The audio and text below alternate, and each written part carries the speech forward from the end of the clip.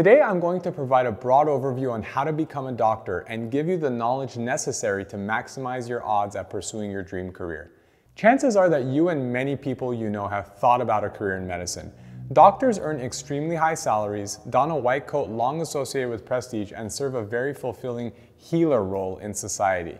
If that wasn't enough, the media oversells medicine through hit TV series such as Grey's Anatomy, House MD, and The Good Doctor. If you've ever dreamed of being a physician, we don't blame you. It's certainly an excellent career option and we're not the only ones who think so. The 2020 US News and World Report rankings of the 100 best jobs has physician ranked as number 5 in best healthcare jobs and number 7 overall. In addition to the inherent joy underlying serving the health needs of the world around them, physicians earn high salaries that are well above their professions. According to Medscape's 2019 Physician Compensation Report, primary care physicians earn an average of $237,000 a year, while specialists see an even larger amount at an average of $341,000 a year.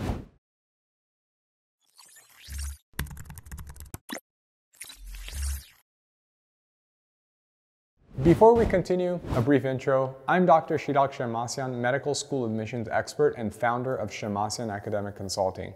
Over the last decade plus, I've helped thousands of students like you get admitted to their dream medical schools, including Harvard, Stanford, and UCSF, among others. We're on YouTube now to share my experiences with interested students and parents like you. In today's video, we'll provide you with a bird's eye view on how to make your physician dreams come true. By the end, you'll know without a doubt what the traditional path to medicine entails. At the end of the video, I'll point you in the direction of the highest yield resources for each subsection of today's video.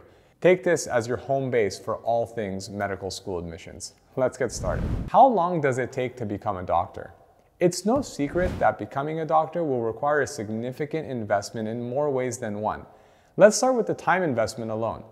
The most traditional path involves you spending four years earning a bachelor's degree and applying to medical school during the summer between your junior and senior year of college.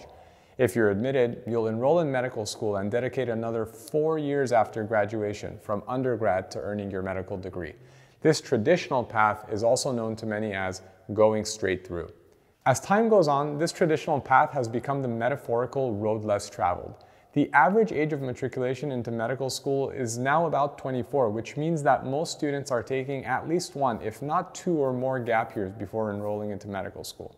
Students take advantage of this additional time to bolster their applications in any way they see fit, from completing remaining prerequisite courses to elevating their GPA or deepening their involvement in various extracurricular activities. In addition, there are a select number of programs available to high achieving high school students who are certain that they want to be a physician at the ripe age of 17 or 18. These students can apply to direct medical programs, otherwise known as BAMD or BSMD programs. These programs are highly competitive but will allow you to complete both your undergraduate and medical degrees in anywhere from six to eight years. Regardless of the pathway, even after the traditional eight years of formal education, you won't be able to practice medicine without a residency. Because medicine is a diverse field, you'll have a wide variety of opportunities after you graduate with your medical degree. Other than clinical work, you can enter academia, public health, and even tech. To legally practice medicine, however, you'll have to spend anywhere from another three to seven years training in a residency program. Specialties such as family medicine and pediatrics fall on the shorter end, taking about three years, and specialties such as neurosurgery will take seven. You'll no longer be strictly a student as you'll be paid during your training and you'll be responsible for your set of patients. Still, understand that the average resident salary is $61,200 and you'll be expected to work much more than a traditional 40-hour work week. Summarizing the time investment altogether, expect to be in training anywhere from 11 to 15 years out of high school. This is a hefty chunk of time considering you'll only have lived about 18 years by the time you begin this journey. How much does it cost to be a doctor? What's more, you'll most likely have to make a financial investment. Finance company Credible reports that 80% of medical school graduates take on loans to complete their degree, accruing an average of $251,600 of debt and taking an average of 13 years to fully pay off their loans. Tack on the accumulating interest on the debt and the eight years of education where you're not making much money, and you can certainly make an argument that becoming a physician is rather costly. How competitive is becoming a doctor? Lastly, you'll have to make an investment in yourself. Medical school admissions is extremely competitive, and you'll have to bet that you spent your time effectively during your undergraduate years to have a chance at a medical school seat. In 2019, the AAMC registered 53,371 applicants and only 41% of them, or 21,869 students, were successful matriculants. Over half, nearly 60% of those who applied did not get a seat. I can spend all day exploring what factors constitute the difference between accepted and rejected applicants, but we don't have enough time in this video. I'd encourage you to watch three other videos that we filmed. How to get into Harvard Medical School, how to get into medical school, and top four reasons medical schools reject qualified applicants. Links are in the description box below. I don't say all of this to scare you, but rather just to get you up to speed on the reality of medicine. Because it is so coveted as a profession, there are some considerable obstacles to hurdle before you go ahead and engrave your initials on a stethoscope and begin taking care of your own patients. Not every medical school will have the same set of prerequisites, but the variance is typically minor. I'd recommend the following coursework to ensure that you satisfy requirements for every medical school so you can apply anywhere. Biology, lecture, two semesters or three quarters. Lab, one term. General chemistry, one semester or two quarters of lecture and one term of lab. Organic chemistry, two semesters or two quarters of lecture. For lab, just one term. Biochemistry, lecture, one term. Lab, not required. Physics, lecture, two semesters or three quarters, one term of lab. Math, for lecture, two semesters or three quarters, must include calculus or statistics. And for English, lecture, two semesters or three quarters, must include writing. As you can see, there isn't a specific pre-med major that encompasses this exact coursework.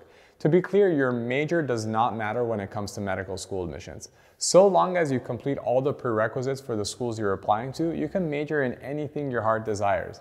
Digital media, evolutionary biology, English literature, or applied biophysics.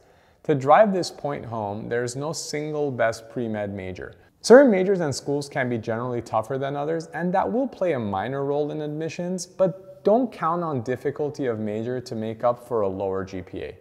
I'd recommend you select a major that you know you genuinely enjoy. This will reflect in your performance. As for the prerequisite courses, fit them in where you can.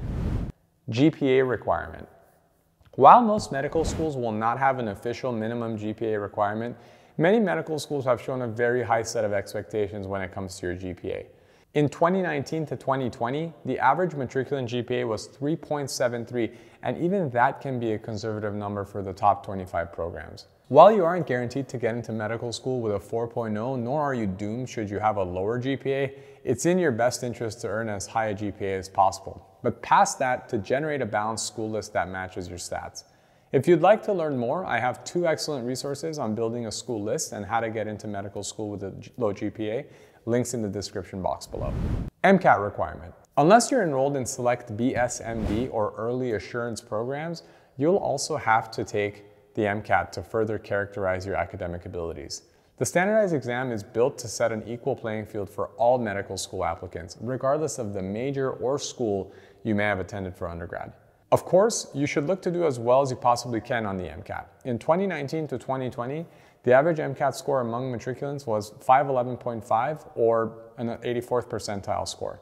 As with the other subsections of this video, I'd love to go into the strategies that we've developed over the years to maximize your MCAT score, but for a thorough look at that, I encourage you to check out our MCAT playlist, again, linked to in the description box below.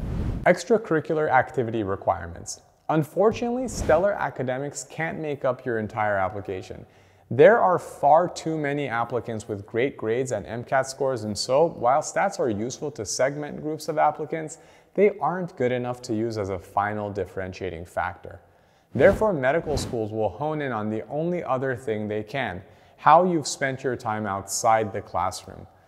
We've covered this in detail in our guide to the best extracurricular activities for medical school, but as a short primer, you'll be expected to have obtained the following experiences shadowing experience, clinical experience, otherwise known as patient exposure, community service or volunteer experience, and research experience. Your goal here isn't to necessarily rack up as many hours as you can, but rather it's to demonstrate the following qualities as provided by the AAMC. Commitment to medicine, knowledge of healthcare delivery, leadership, interest in serving diverse populations, passion for science, communication, and interpersonal skills. Because these qualities are abstract, there are many ways to demonstrate them. When choosing the extracurriculars you want to dedicate your time to, choose the ones you genuinely enjoy. This will come across both in the hours you put into the activity and in your personal development as demonstrated by your medical school application and interview. Tips for high school students and early pre-meds. If you're earlier on in your career, say a high school student or a pre-med in your first or second year of undergrad, there are some foundational things you can do to set yourself up for success in addition to watching this video. Talk to and shadow doctors. To best understand what an eventual career in medicine would look like, spend some time with professionals in the field. I filmed another video going over everything you need to know to shadow a doctor. Again, it's linked in the description below. Spending time within the healthcare system and merely observing will go a long way to answering questions such as, can I imagine myself as a doctor, or do I find this lifestyle enjoyable? Prepare academically in the sciences. It should be no surprise to you that the path to and through medical school will require you to excel in a variety of science courses ranging from chemistry to anatomy to pharmacology. If you're in high school, challenge yourself with difficult science courses to give you a strong foundation for your ensuing college and graduate school level courses. In addition, this coursework will give you even more context for what to expect going forward. While the biology in high school won't be the same as the physiology you learn in medical school, you can get a sense if you enjoy this type of subject matter. Don't get discouraged if biology, chemistry, or physics isn't your favorite subject. Many successful medical students and even eventual physicians majored in the humanities, economics, or other topics. You can still be successful if cells don't excite you to no end. Pursue meaningful extracurricular activities. Should you be settled with all the time, money, and academic investments that are required of a med student, focus your attention on your extracurricular activities. Medicine will put you face to face with ailing patients on a daily basis, and you'll be trusted with their most vulnerable selves. To develop the appropriate soft skills to treat them the best you possibly can, develop yourself personally and professionally through meaningful extracurricular activities that give you experience working with people. Final thoughts. That's a broad overview of what becoming a doctor entails. While there are considerable amount of things that remain to be discussed, you now have a good sense of what investments are required to first become accepted into medical school and second, to become an eventual physician. If you found this video helpful, give it a thumbs up and subscribe so you don't miss out on new videos.